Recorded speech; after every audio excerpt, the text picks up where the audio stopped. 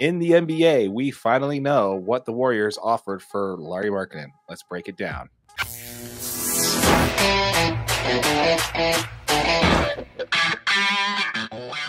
All right, with that said, let's go ahead and pivot on over to a team that has 0% chance of getting Cooper. Uh, let's go ahead and talk about the Utah Jazz, shall we? Damn it, Darren. Just crush everybody's dream right at the beginning of the video. Before we get into the content, folks, let's go ahead and quickly mention that we do have our ch- our Jazz channel that is dedicated specifically to Utah Jazz content. It's called Utah Jazz DNA.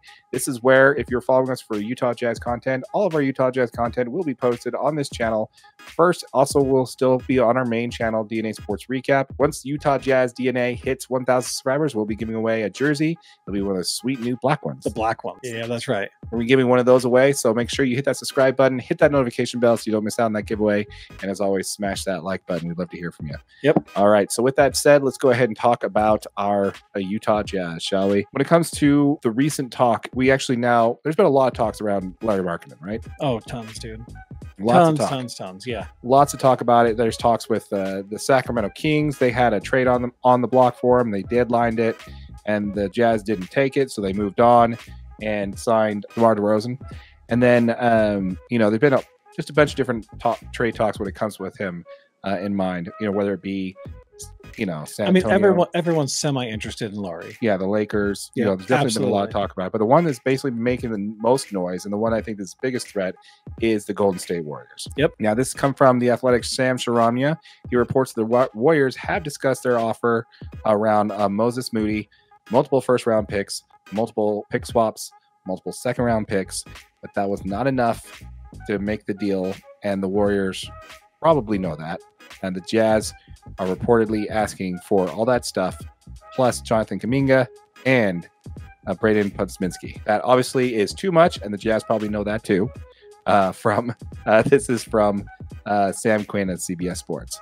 So when you look at that here, so basically what the Warriors offered is Moody, t- multiple first rounds, multiple p- first round swap picks, multiple uh, swaps, and multiple second rounds.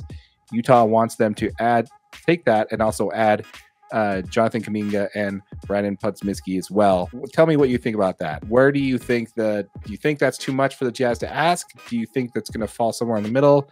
What are your thoughts on that? No, I think I think this is a typical Danny Ainge, man. I mean, the, the fact is, is the Jazz are not just going to give Lauri Markkanen away. They don't need to move him. Uh, they do still believe they can extend him. They do believe he still wants to be in Utah. The Jazz are going to put themselves in a position to win in the future with some young players like Jonathan Kuminga Mhm. and Podziemski. These are these are players that help them win in the future. The fact is, the Warriors want to win now, right? They understand that Steph Curry has a window. The dude is 36 years old, and if the Warriors want to win now, that is not the Jazz's problem. Uh, That's the least of the Jazz concern. Is the Jazz is the Warriors winning now? Because realistically, what the Jazz don't want to do is get players that are going to allow the Warriors to win in the future that devalues every single one of those picks. Right. And players like Kuminga and Podziemski are the players of the future for the Warriors. The Jazz want to know that once this window closes It's closed with the Steph Curry, Yeah. right? It's closed and those picks are valuable. yeah, we've already learned. Hopefully, they've already learned their lesson with the Donovan Mitchell, Exactly. Rudy Gobert trade. Because believe it or not, guess what? The way it sits right now, uh, with We made both those teams way better. yeah, we made both those teams way better. Yeah. And Donovan re-signed. Rudy's going to stay. Like The those picks aren't valuable at all. the Timberwolves, we have a pick for them coming up next year in the in the draft. They're one of the top three teams in the NBA, so that pick's gonna be around 29, 28. And then we also have Cleveland, and with Donovan Mitchell re-signing there, that pick's going to be right around. And they're the tenth best team in the league right now, Yeah, according so to 20. leagues. So that pick's going to be around your twenty to twenty-five. Yep. And so the Jazz will also have their first round pick if it's uh, bad enough that they're not going to default and lose their pick to the Timberwolves. So if they're too good, they're going to lose their pick to the Wolves. And but if they're bad enough, they get to keep it. So here's what we're going to have: we're going to have another year where we get a low, a late lottery pick, and then two other picks later in the draft. So we're going to have a rinse and repeat three times in a row for three straight years. That's exactly why they are not saying that this offer is good enough. Yeah, I agree. And what I think is probably going to more likely happen is they're going to back off some of the trade pieces, but still keep at least uh, Brandin Podziemski in that in that trade. I, I agree. I think that's probably the player they're trying to go for. He brings a lot of stuff that the Jazz could really use around assembling any team, right? He's he's just a good, solid young player.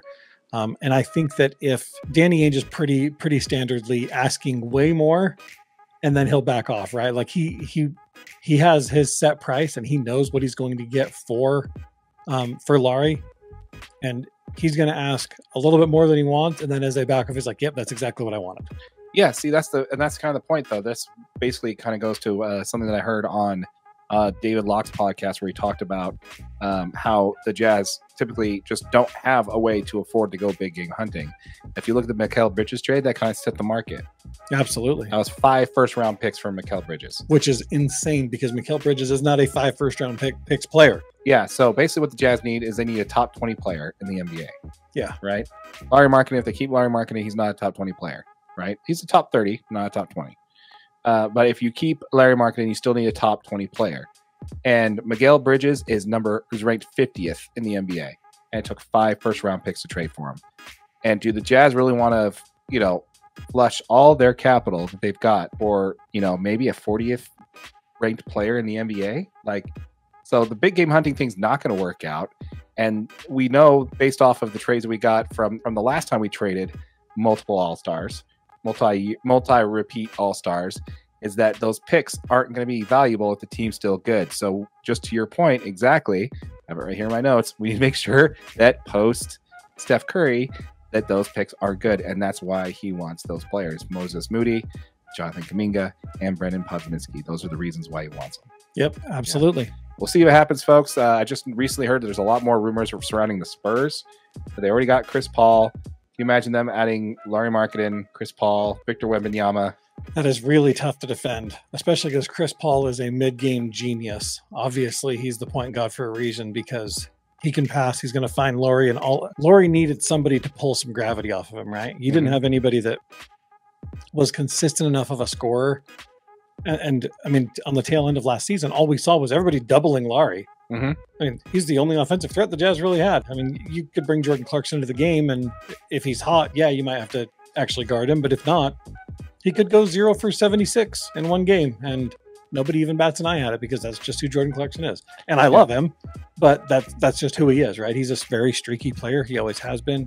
He's a scoring weapon. That's that's what Jordan Clarkson's job is. Mm-hmm. But he's a streaky scoring weapon. And someone that has a consistent game like Chris Paul that can if you leave him open in the mid in the mid range, it's automatic. That's just who Chris Paul is. Mm-hmm. And if you send a defender at him and there's not somebody guarding Lauri or six feet from Lauri, Lauri's going to knock down those shots. Yeah. And and now you add another three point shooter slash whatever you want to call Wembanyama. Yeah. That's just a really tough team. So that that is a that is a great pickup, you know, for the Spurs because that does make it that does make him an absolute weapon yeah, I think it's insane when it comes to that. I, again, when I, I, keep beating this drum, and I've been saying it for ever since we started this show, is that the Utah Jazz are just not doing their rebuild correctly. They have one foot in, one foot out.